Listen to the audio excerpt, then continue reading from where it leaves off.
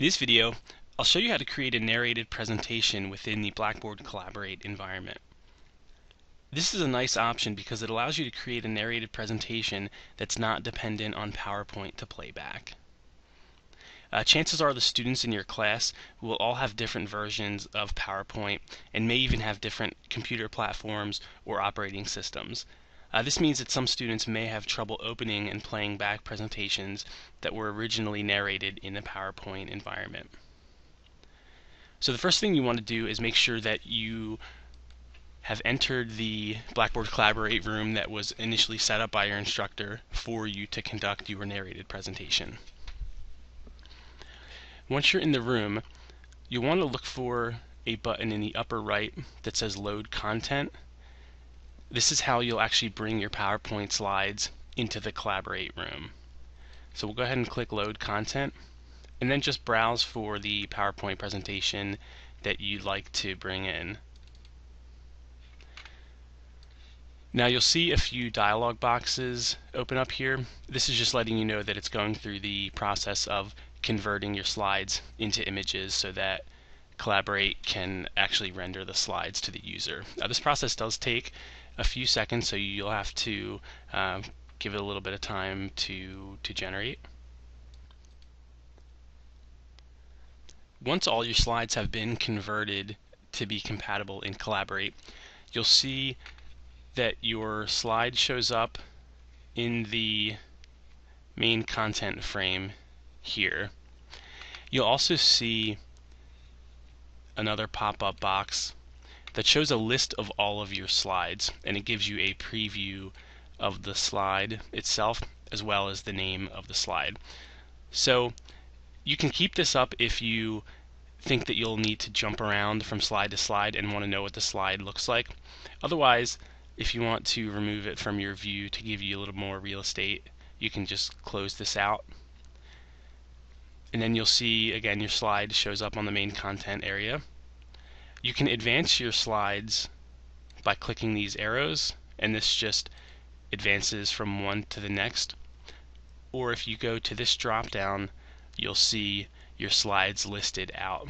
Okay, so this is just the names of your slide um, or the heading that you have on your slide. So let's just go back to slide one. When you're ready to begin narrating your presentation, the first thing that you want to do is make sure you hit record. This is very important because if you don't push this button, then it will not record the narration that you provide and therefore there will not be an archive of this session. So it's very important to click record.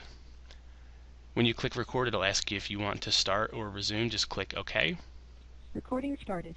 And you'll hear a little notification voice that lets you know that the recording has in fact started.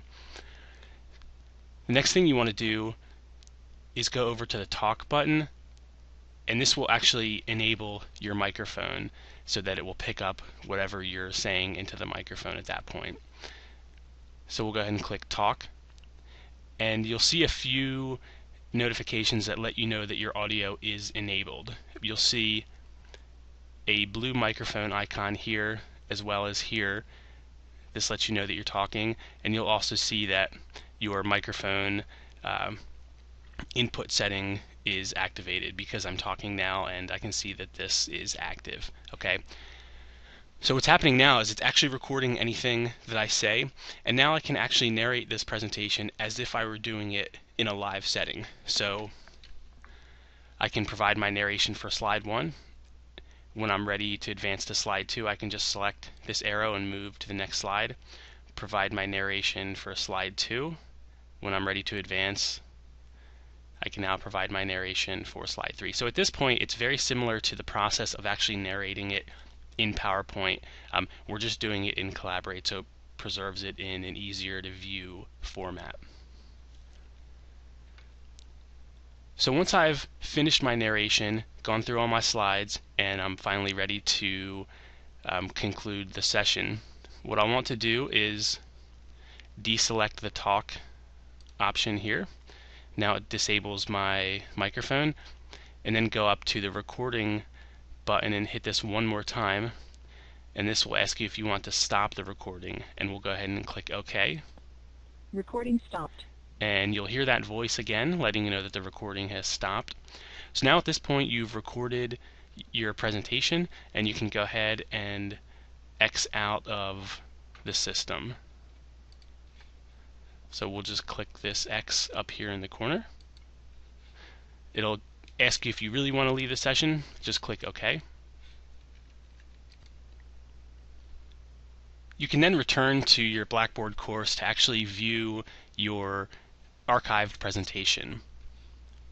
So if you go down to the Collaborate link, now here you'll see the original uh, Collaborate room that you entered in order to um, create the session. In order to access your archive, you want to go up to this recordings link. This will be a list of any archived recordings that have happened in that room. And now you'll see your recording is here. Uh, keep in mind that this can sometimes take up to a half hour, depending on how long your presentation is to actually uh, generate the recording. So you do have to give this a little bit of time. This probably won't be available immediately, but once it is ready, you'll see it in this recordings area. So let's just move it over here. So you can either click the link to view the presentation in Collaborate, or you have the option to convert it to an MP3 audio file or an MP4. Okay, so these are good options if you would like to view any of these sessions on a mobile device or just as a basic movie file. And so here, these are your options, and that's how you do a narrated presentation in Collaborate.